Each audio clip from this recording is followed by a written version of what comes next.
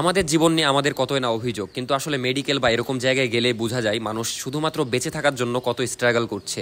কোনো বিলাসিতা না, কোনো কিচ্ছুর জন্য না, শুধু বেঁচে থাকার জন্য। আসসালামু আলাইকুম, আমি অর্ক। আজকের ভিডিওটা আমার একটু অন্যরকম, কারণ আমি যাচ্ছি আমার শ্বশুরের সাথে ঢাকা সিএমএইচ এ ওনার ডায়ালাইসিস করাতে। আর অনেকেই হয়তো বলতে পারেন অর্ককে যে, শ্বশুর ডায়ালাইসিস করছে, তাহলে সে কেন সেখানে যে ভিডিও করছে? আসলে এরকম কিছুই না। আমার আব্বু গত দশ বছর ধরে এই রোগের সাথে লড়াই করছে। আমার আব্বু দুইটা কিডনি ড্যামেজ আর গত এক বছর ধরে তিনি ডায়ালাইসিস করাচ্ছেন। এটা আসলে আমাদের লাইফের একটা পার্ট হয়ে গেছে, এমনকি আমার বিয়ের পরের দিনও তাকে ডায়ালাইসিস নিতে যেতে হয়েছিল। এটা আমাদের কাছে কোনো বোঝা মনে হয় না, সুস্থ থাকার জন্য, আব্বুর বেঁচে থাকার জন্য এটা অনেক বেশি প্রয়োজন।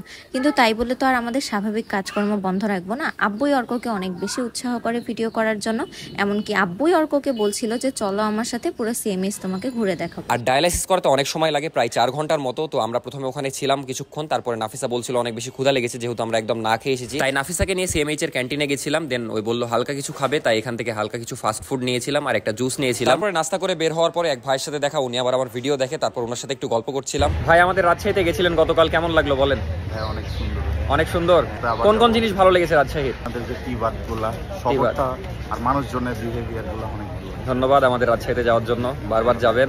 আপনাদের বাসা কোথায়?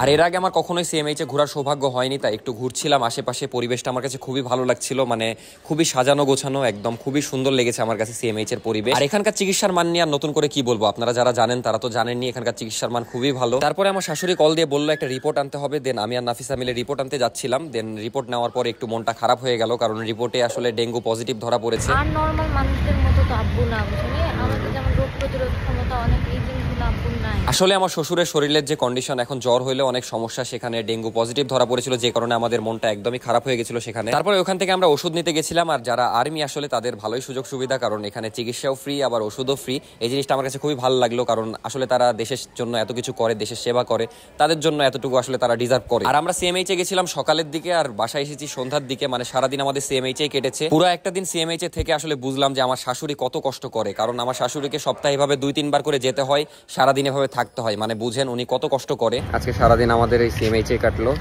কিন্তু লাস্টে যে মুডটা অফ হয়ে গেল। আব্বুর হচ্ছে ডেঙ্গু ধরা পড়েছে আসলে কিছু করার নেই।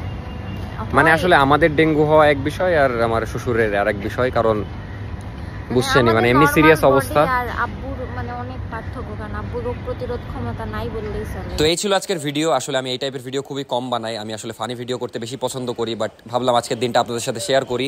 যদিও আসলে ওখানে যে আমার মনটা অনেক বেশি খারাপ হয়ে গেছিল যে কারণে আসলে ভিডিও সেভাবে শুট নিইনি। দেখতেই পাচ্ছেন খুবই ছোট্ট একটা ভিডিও করেছি। যাই হোক এই ছিল আজকের ভিডিও সবাই আমার শ্বশুরের জন্য একটু বেশি বেশি দোয়া করবেন। দেখা হচ্ছে পরবর্তী ভিডিওতে আল্লাহ হাফিজ।